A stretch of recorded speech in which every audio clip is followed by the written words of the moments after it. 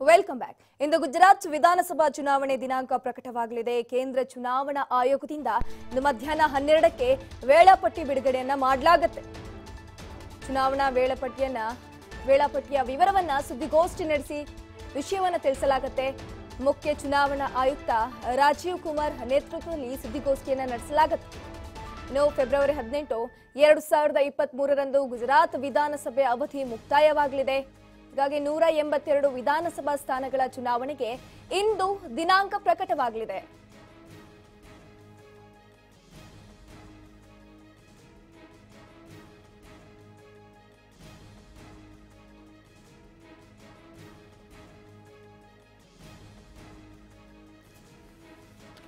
S, ಇಂದು ಗುಜರಾತ್ ವಿಧಾನಸಭಾ ಚುನಾವಣೆ ದಿನಾಂಕ ಪ್ರಕಟವಾಗಲಿದೆ. ಗುಜರಾತ್ ಅಂದ್ರೆ ಒಂಥರ ರಾಜಕೀಯ ಪಕ್ಷಗಳು ಮೇನ್ ಸೋರ್ಸ್ ಅಂತಾನೆ ಹೇಳಬಹುದು.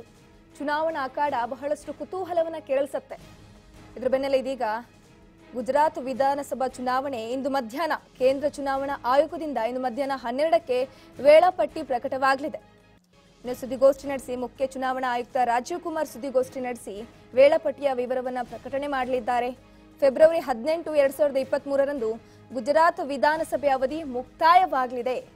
ಹಾಗಾಗಿ ನೂರ ಎಂಬತ್ತೆರಡು ವಿಧಾನ ವಿಧಾನಸಭಾ ಸ್ಥಾನಗಳನ್ನು ಹೊಂದಿರುವ ಗುಜರಾತ್ ಫೆಬ್ರವರಿ ಹದಿನೆಂಟು, ಎರಡ್ ಸಾವಿರದ ಹದಿಮೂರು. ಇನ್ನೊಂದು ನಾಲ್ಕೈದು ತಿಂಗಳಲ್ಲಿ ಅವಧಿ ಮುಕ್ತಾಯವಾಗಲಿದೆ. ಹೀಗಾಗಿ ಇಂದು ಮಧ್ಯಾಹ್ನ ಹನ್ನೆರಡಕ್ಕೆ ಕೇಂದ್ರ ಚುನಾವಣಾ ಆಯೋಗದಿಂದ ಚುನಾವಣಾ ವೇಳಾಪಟ್ಟಿಯ ವಿವರವನ್ನ ಪ್ರಕಟಣೆ ಮಾಡಲಾಗುತ್ತೆ. ಇದ್ರ ಬಗ್ಗೆ ಹೆಚ್ಚಿನ ಡೀಟೇಲ್ಸ್ ನೀಡ್ತಾರೆ ನಮ್ಮ ಪ್ರತಿನಿಧಿ ಪ್ರಭು. ಪ್ರಭು, ಇಂದು ಗುಜರಾತ್ ವಿಧಾನಸಭಾ ಚುನಾವಣೆ ದಿನಾಂಕ ಪ್ರಕಟವಾಗಲಿದೆ. ಹಾಗಾಗಿ ಚುನಾವಣಾ ಅಖಾಡ ಯಾವ ರೀತಿ ಇರಲಿದೆ ಅಂತ? ತನುಷ್, ನಿಜಕ್ಕೂ ಬಹಳ ಕುತೂಹಲಕ್ಕೆ ಕಾರಣ ಆಗ್ತಿದೆ. ಗುಜರಾತ್ ವಿಧಾನಸಭಾ ಚುನಾವಣೆ ಅಂತಂದ್ರೆ ಇಡೀ ದೇಶದ ಚಿತ್ತ ಆ ಕಡೆ ಇರುತ್ತೆ. ಯಾಕಂತ ಹೇಳಿದ್ರೆ ಪ್ರಧಾನಿ ಮೋದಿ ಅವರು ತವರು ಹಾಗೆ ಗೃಹ ಸಚಿವ ಅಮಿತ್ ಶಾ ಅವರ ಒಂದು ರಾಜ್ಯ ಕೂಡ ಹೌದು. ಬಟ್ ಕಳೆದ ಬಾರಿ ಚುನಾವಣೆ ಗಮನಿಸಿದ್ರೆ ಪ್ರಯಾಸವಾಗಿ ಅಲ್ಲಿ ಬಿಜೆಪಿ ಗೆಲುವನ್ನ ದಾಖಲಿಸಿತು ಕಾಂಗ್ರೆಸ್ ಕೂಡ ಒಂದಷ್ಟು ಮಟ್ಟಿಗೆ ತಮ್ಮ ಸ್ಥಾನಗಳನ್ನ ಭದ್ರಪಡಿಸಿಕೊಂಡಿತ್ತು.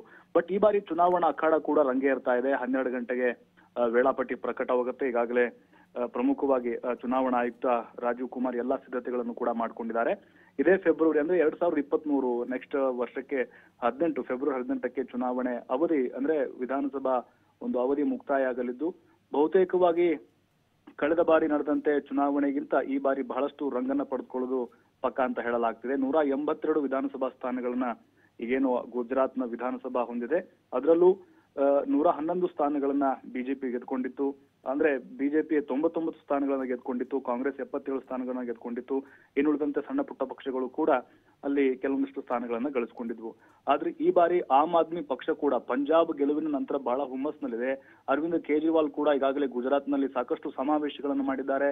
ಜೊತೆಗೆ ಮತಬೇಟೆಗಿಳಿದಿದ್ದಾರೆ ಅವರು ಕೂಡ ಸಾಕಷ್ಟು ಆಕ್ಟಿವ್ ಆಗಿ ಪಕ್ಷದ ಕಾರ್ಯಕ್ರಮಗಳಲ್ಲಿ ಭಾಗಿಯಾಗ್ತಾ ಇದ್ದಾರೆ.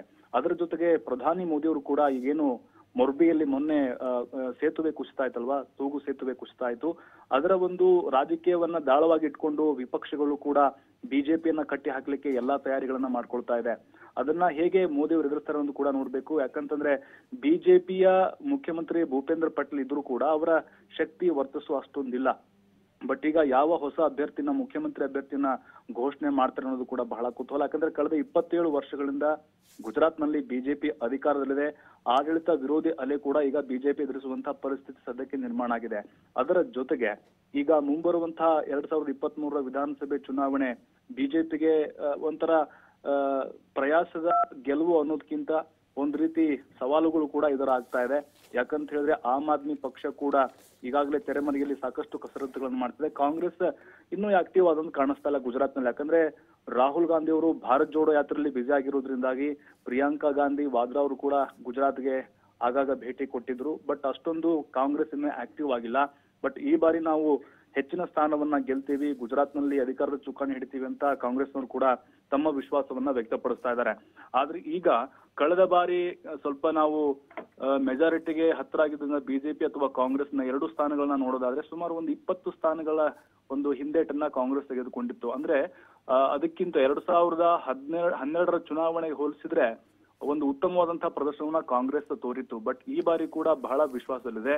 ಬಟ್ ಈ ಬಾರಿ ಪ್ರಧಾನಿ ಮೋದಿ ಅವರಿಗೆ ಒಂದು ಪ್ರತಿಷ್ಠೆ ಕಣವಾಗಿದೆ. ಅಮಿತ್ ಶಾ ಅವ್ರಿಗೂ ಕೂಡ ಅದೇ ರೀತಿಯಾಗಿ ಒಂದು ಸವಾಲು ಪರಿಣಮಿಸಿದೆ.